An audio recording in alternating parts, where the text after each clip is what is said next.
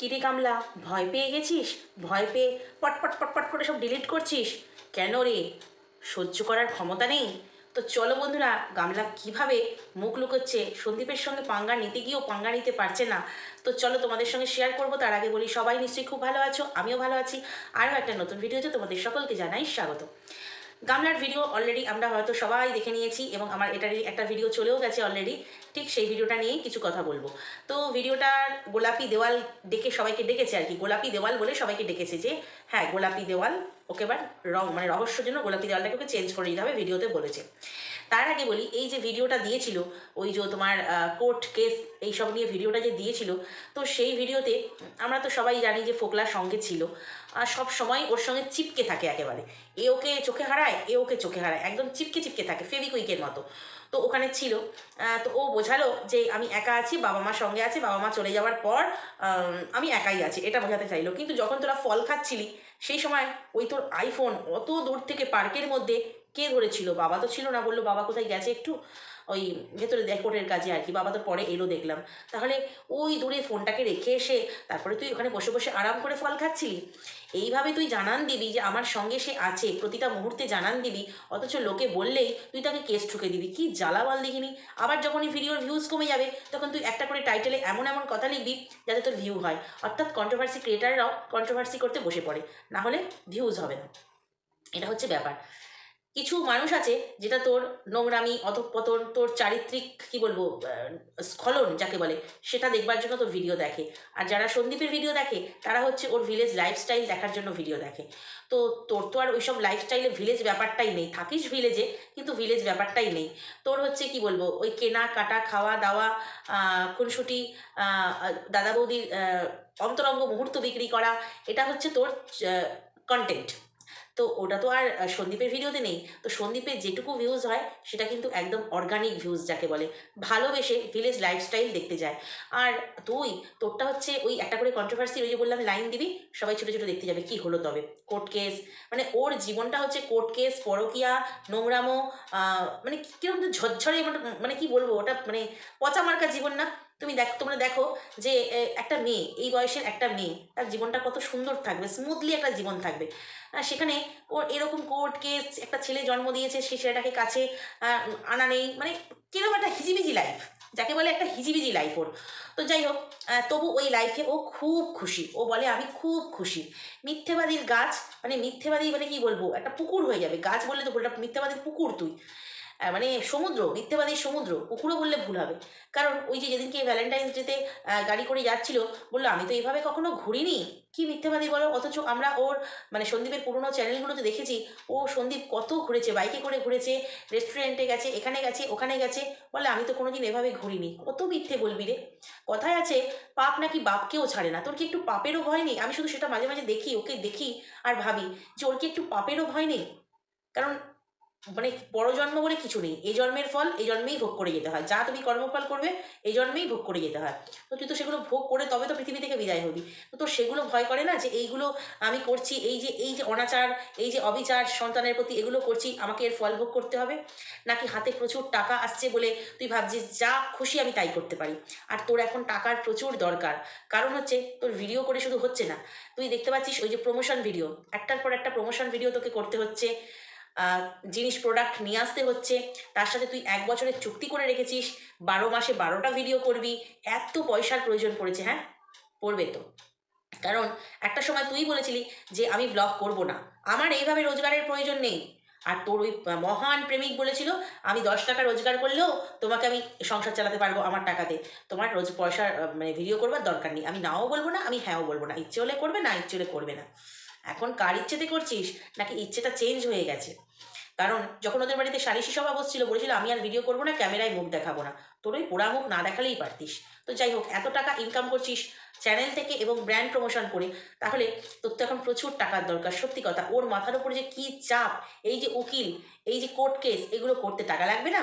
তারপরে এই যে এতগুলো মানুষ, এতগুলো মানে জনপ্রতি মানুষ ওর ভরসায় পড়ে রয়েছে সেই জনপ্রতি মানুষকে ওকে খাওয়াতে হচ্ছে, লালন পালন করতে হচ্ছে সোজা কথায়, তো ওর তো প্রচুর টাকা ইনকাম করতেই হবে।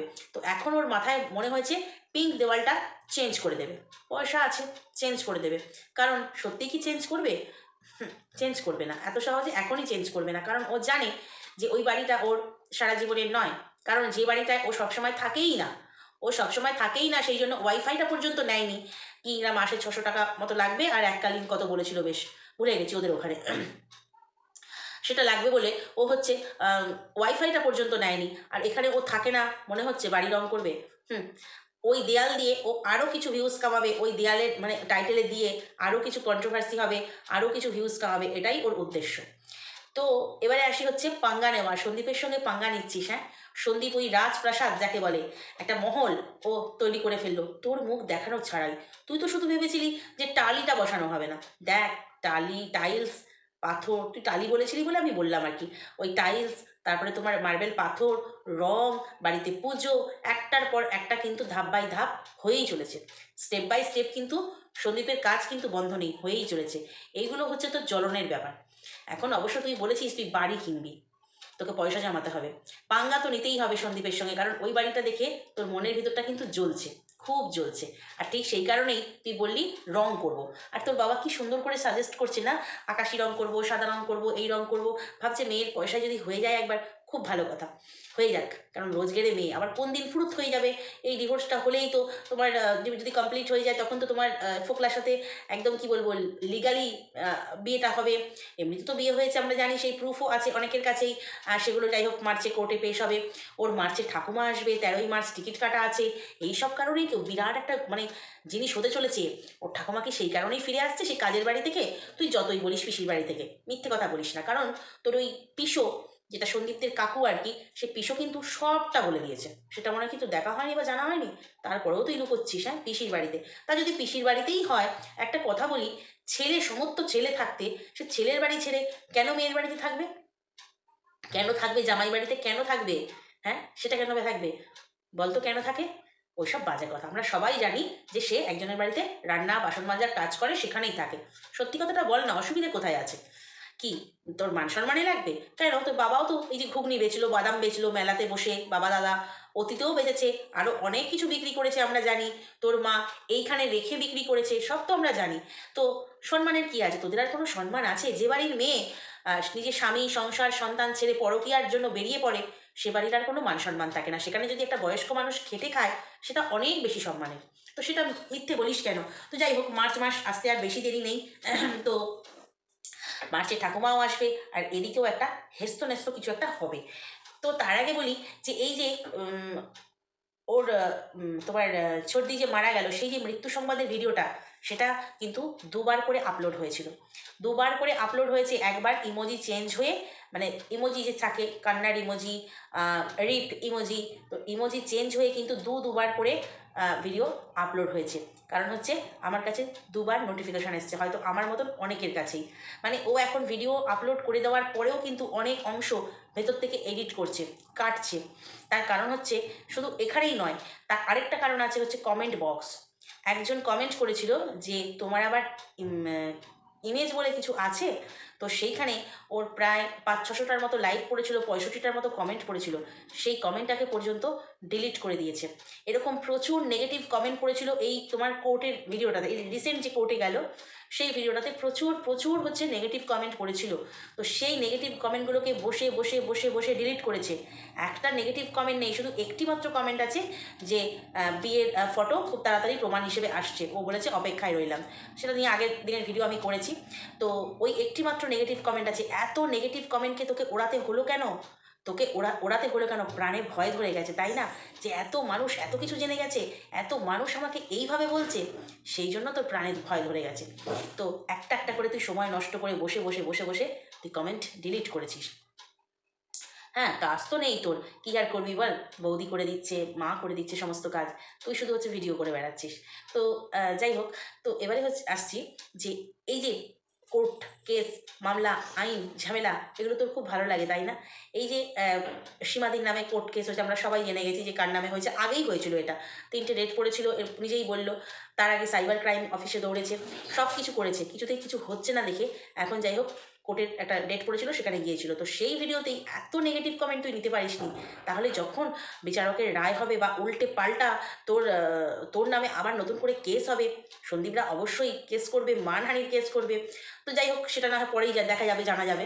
তো সেগুলো করবে। তখন এত ধাক্কা নিবি কী করে? সামান্য কমেন্টের ধাক্কা নিতে পারছিস না? কমেন্টগুলোকে ডিলিট করে ফেলতে হচ্ছে।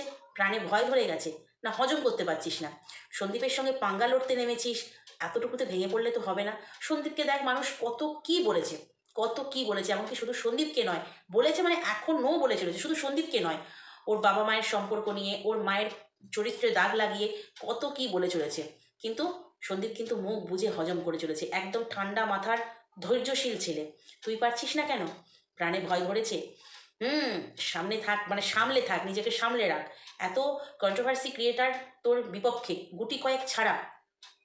তাদের আবার কেস ঠুকছিস, কতজনের মুখ বন্ধ করবি? মানলাম তোর প্রচুর পয়সা আছে, তুই অনেক ক্রিয়েটারদের বিরুদ্ধে কেস করে ফেললি। কিন্তু এই যে ভিউয়ার্সরা তোকে একদম জুতো, ঝাঁটা, লাথি মারছে মুখের দ্বারা। মুখের দ্বারা কমেন্ট বক্সে জুতো, ঝাঁটা, লাথি মারছে। তাদের কি করবি? তাদের বিরুদ্ধে কি অ্যাকশন নিবি? তাদের মুখ বন্ধ করতে পারবি তো? ও, তাদেরকে ব্লক করে দিতে পারবি, তাই না? তাহলে কি হবে? তোর তো ভিউজ কমে যাবে, পয়সা হবে না। ও তার জন্য তো তোর বিকল্প পথ আছেই। সে তো আমরা সবাই জানি, তাই না? তুই সেই পথে খুব সিদ্ধহস্ত সেই পথে হয়তো রোজগার করবি। তাহলে এত এত ভিউয়ার্সদের মুখ কিন্তু তুই বন্ধ করতে পারবি না। তাই এখন থেকে সামলে চল। অত লোকের নামে কোর্ট কেস এগুলো করিস না। কারণ যেগুলো মানুষ দেখছে, যেগুলো মানুষের চোখে ঠেকছে, তুই পয়েন্ট তুলে তুলে দেখাচ্ছিস, সেগুলো নোংরামি দেখাচ্ছিস, সেইগুলো নিয়ে ভিডিও করলে তোর পিছনে ঝাল লেগে যাচ্ছে। তুই ছুটছিস কোর্টে তাহলে মানুষ যখন একজোট হয়ে দেখতে পাচ্ছিস তো দিদির কি হাল করেছে? তোর প্রিয় দিদি ভাইয়ের কি হাল করেছে বুঝতে পারছিস? সে কিনা মনের দুঃখে কন্ট্রোভার্সি ছেড়ে দিতে বসেছিল। তো সেই হাল যেন তোর না হয় যে তোর ব্লগিংটা বন্ধ হয়ে যায়। তোর চ্যানেলটা, ব্লগিংটা বন্ধ হয়ে যায়। সেই হাল যেন তোর না হয়। তাহলে কিন্তু তুই আর খেতেও পাবি না। কারণ এই যে তুই রোজগার করছিস ব্র্যান্ড প্রমোশন চ্যানেল হ্যানা ত্যানা এত কিছু করে, সেটা কিন্তু তোর সব বন্ধ হয়ে যাবে। অতএব অন্যকে শাস্তি দেওয়ার আগে পাঁচবার ভাবিস। আর সন্দীপের সঙ্গে সন্দীপের সঙ্গে পাঙ্গা নিতে গেলেও আরও বেশিবার ভেবে নিয়ে পাঙ্গায় নামিস। তো দেখা যাক বন্ধুরা, মার্চ মাসে কি হয় না হয়, আর এ তো এখন ভয় পেয়ে গেছে, বোঝাই যাচ্ছে, সব ডিলিট করতে শুরু করে দিয়েছে। অনেক অনেক ভিডিও ভেতর থেকে এডিট হচ্ছে আপলোড হয়ে যাওয়ার পরও এডিট হচ্ছে, কথা কাটিং হচ্ছে, তো সেগুলো তো আমরা বুঝতেই পারছি। তো চলো, আজকের ভিডিওটা এই পর্যন্তই। নেক্সট ভিডিওতে আবার কথা হবে। যদি কোথাও ভালো লাগে লাইক কমেন্ট শেয়ার সাবস্ক্রাইব করে দিও। চলো, আজকে আসি, টাটা।